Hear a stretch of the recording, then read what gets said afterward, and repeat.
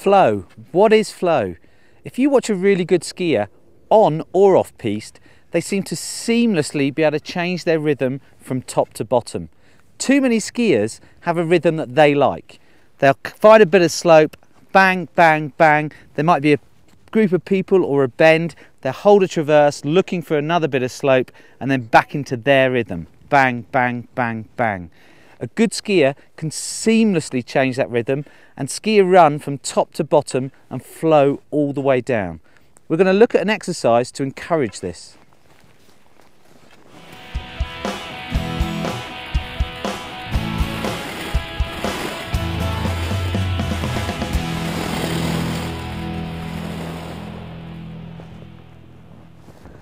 The way I want to encourage this flow is by using an exercise I call fives. Very simple. One, two, three, four, five.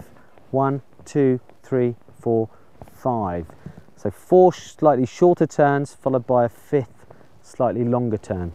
Now what I find people tend to do when they try this for the first time is make the fifth and longer turn much more of a kind of held traverse just to get across into the shorter turns.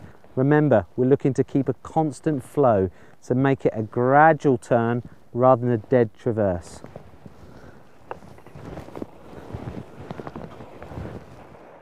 Start out in short rhythmical turns, and then use a larger fifth turn to adjust your line and keep your momentum flowing down the hill.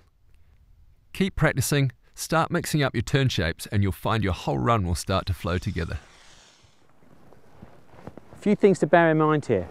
Make sure you make the first short turn the same direction as the way you want the longer turn to be. If you get that wrong, you might find yourself off the edge of the piste. The other thing that will really help is to count out loud. One, two, three, four, five. And actually say the five out loud and make it a little bit longer. Let's have a go.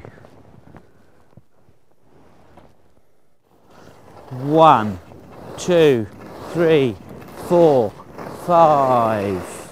One, two, three, four, five. One, two, three, four, five.